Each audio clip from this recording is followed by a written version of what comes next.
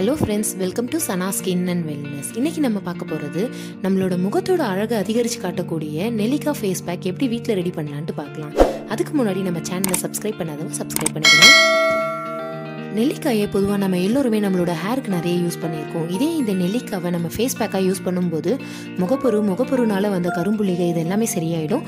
அது கூடவே uneven skin டோரும் சரியாயிட்டு முகம் நல்லா பிரைட்டாக இருக்குங்க.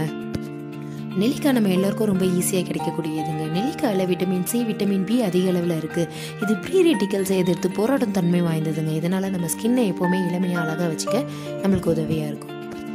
நெல்லிக்காயை நம்ம தொடர்ந்து சாப்பிட்டு வந்தோம்னா நம்ம ஸ்கின்ல கொலாஜின் உற்பத்தி அதிகமாக்கி கூடவே நோய் எதிர்ப்பு சக்தியும் அதிகரித்து கொடுக்கோங்க. இவ்வளவு நன்மைகள் வாய்ந்த நெல்லிக்காவை எப்படி ஃபேஸ் பேக்காகவும் ஃபேஸ் ஸ்க்ரப்பாகவும் யூஸ் பண்ணுறது இந்த வீடியோவில் பார்க்கலாம். டிப்ஸ் ஒன்று நெல்லிக்காய் ஜூஸ் ரெண்டு ஸ்பூன் எடுத்துக்கோங்க.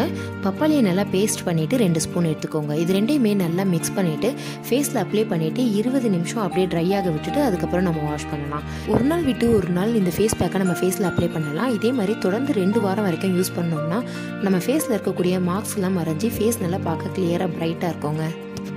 டிப்ஸ் ரெண்டு. நெல்லிக்காய் பொடி ரெண்டு ஸ்பூன். நெல்லிக்காய் பொடிக்கு பதிலாக நெல்லிக்காவை மிக்சியில் போட்டு அரைச்சிட்டு பேஸ்ட் பண்ணி ஒரு ரெண்டு ஸ்பூன் எடுத்துக்கலாம்.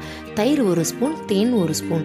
இந்த மூணு பொருட்களையும் நல்லா மிக்ஸ் பண்ணிவிட்டு ஃபேஸில் அப்ளை பண்ணி இருபது நிமிஷம் கழித்து வாஷ் பண்ணிக்கலாம். வாரத்துக்கு ரெண்டு தடவை இந்த ஃபேஸ் பேக் நம்ம யூஸ் பண்ணலாம். இது மாதிரி தொடர்ந்து பண்ணிட்டு வந்தோம்னா சூரிய வெளிச்சத்தினால மாறி போன நம்ம கலர் எல்லாம் சரியாயிடுங்க. டிப்ஸ் மூணு. நெல்லிக்காய் பொடி ரெண்டு ஸ்பூன் எடுத்துக்கோங்க.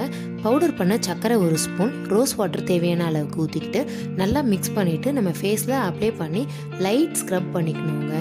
அஞ்சு நிமிஷம் இது மாதிரி லைட்டாக ஸ்க்ரப் பண்ணிவிட்டு பத்து நிமிஷம் அப்படியே முகத்துலேயே ஊற விட்டுருங்க. அதுக்கப்புறம் நம்ம வாஷ் பண்ணிக்கலாம். இதை மாதிரி வாரத்துக்கு ஒரு தடவை நம்ம தொடர்ந்து பண்ணிட்டு வந்தோம்னா முகப்பொரு முகப்பொருனால வந்த மார்க்கெல்லாம் சரியாயிடுங்க. நம்ம ஸ்கின்னை ஹெல்த்தியாக பிரைட்டாக வச்சுக்க இந்த டிப்ஸ் ரொம்ப யூஸ்ஃபுல்லாக இருக்கும்னு நினைக்கிறேன். ட்ரை பண்ணி பார்த்துட்டு கமெண்ட்டில் எப்படி இருந்ததுன்னு சொல்லுங்கள் மறக்காமல் சப்ஸ்கிரைப் பண்ணிடுங்க. Thank you friends